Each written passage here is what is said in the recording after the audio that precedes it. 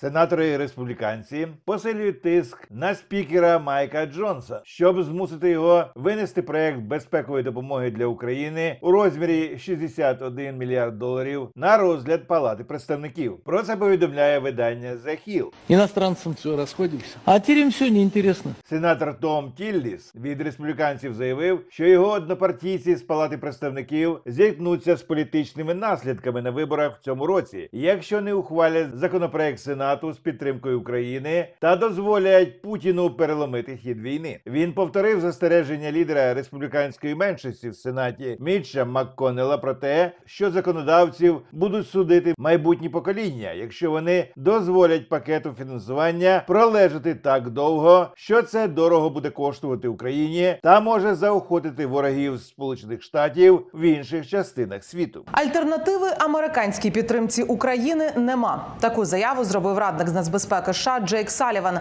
на брифінгу у Білому домі у середу.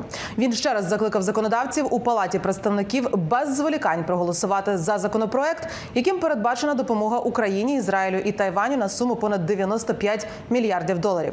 Він наголосив, затримка американської допомоги вже позначається на спроможностях українців, тому діяти треба негайно. Інші союзники свої зобов'язання виконують, однак цього недостатньо, сказав Саліван. To burden sharing in the provision of military assistance to Ukraine. Коли йдеться про розподіл тягаря надання військової допомоги Україні, наші союзники по НАТО суттєво збільшили допомогу, і вони будуть продовжувати це робити. Однак нам потрібно дивитися правді в очі. Сполучені Штати надавали значну частину цієї допомоги, і прогалина, яка утвориться, не може бути повністю заповнена іншими союзниками та партнерами.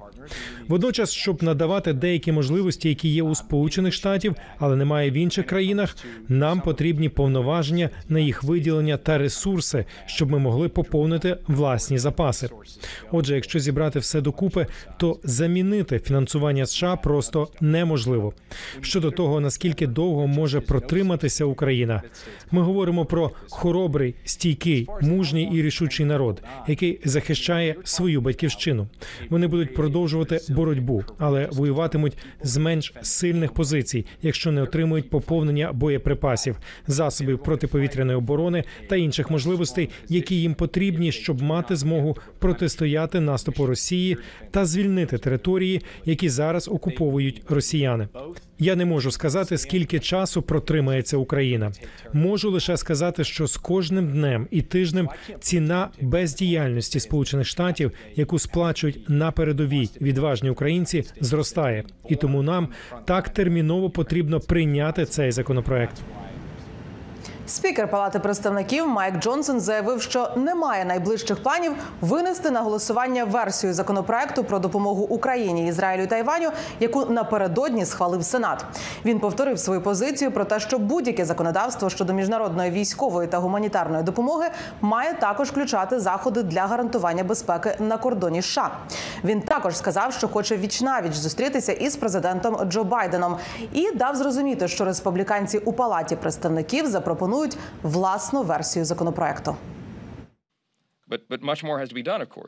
Потрібно зробити ще багато чого, звичайно, аби убезпечити кордон, і те, за що Сенат проголосував цього тижня, ніяк не вирішує це питання. Сенатор МакКоннелл і я відверто говорили про це на сесіях, і дозвольте мені ще раз пояснити це зараз.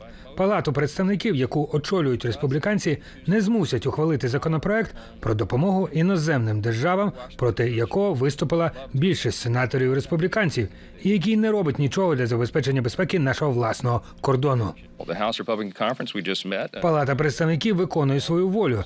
Республіканці Палати представників години тому зібрались, і у нас є багато ідей, як вирішити ці проблеми. Ми вирішимо питання і виконаємо свій обов'язок. І все це всерйоз починається просто зараз. Ми повинні поставитися до цього серйозно. Ми маємо справді вирішити проблеми, а не просто займатися показною політикою, як це відбувається в деяких інших місцях. У Білому домі звинуватили спікера Джонсона і республіканців у палаті представників у тому, що вони цитую ставлять політику вище за нацбезпеку і виступають на боці Дональда Трампа, Владіміра Путіна і Тегерана і проти оборонно-промислової бази Америки, НАТО, України та американських інтересів в індотихуанському регіоні. Речниця Білого Дому Карін Жан П'єр заявила, що винесення законопроєктів на розгляд це робота спікера Палати представників. І якби він це зробив, допомога Україні пройшла би схвалення. This is not about politics. This is about national security needs. Йдеться не про політику, а про потреби національної безпеки. І це критично важливо переконатися, що Україна має те, що їй потрібно. Це критично важливо переконатися, що ми продовжуємо давати Ізраїлю необхідне для їхнього захисту від терористичної організації. Також критично важливо надати гуманітарну допомогу, на яку люди чекають.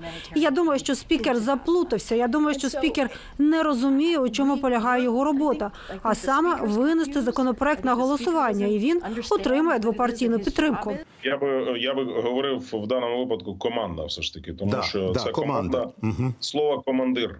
Розумієш, Да. слово командир так само. Ми кажемо в, в, в армії, ми не кажемо там воєначальник, ми кажемо командир.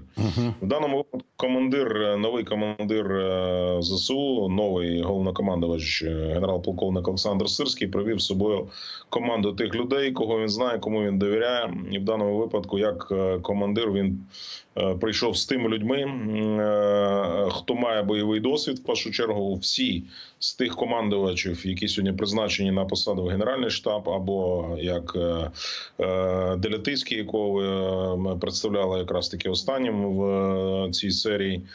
Це люди, які е, мають конкретний бойовий досвід з 2014 року. Сам Олександр Сирський, нагадаю, так само очолював штаб АТО, а потім командував е, антитерористичною операцією в Донецькій і Луганській областях.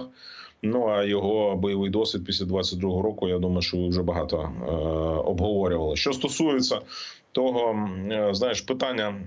Зможе ця команда, не зможе. Ну вони абсолютно беззмістовні, тому що в даному випадку армія це найбільш консервативний інститут в е, країні. Його можна порівняти хіба що з церквою.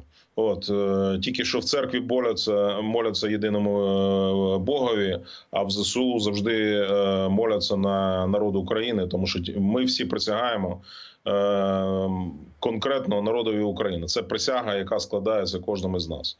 І тому для нас немає жодного і більш високого пріоритета, ніж виконати високу місію стосовно захисту нашої свободи незалежності, захисту українського народу від всіх ворогів зовнішніх, тому що армія все ж таки бореться з внутрішнім ворогом, е, з зовнішнім ворогом, не з внутрішнім від всіх зовнішніх ворогів. Тому я вважаю, що в даному випадку ем, команда Олександра Сирського вона відповідає поставленим завданням. І очевидно, що ці завдання, які в своєму інтерв'ю ЦДФ, я думаю, що ви його вже показували, Да. можливо, фрагментами. Головне завдання це вихід на кордони 91-го року.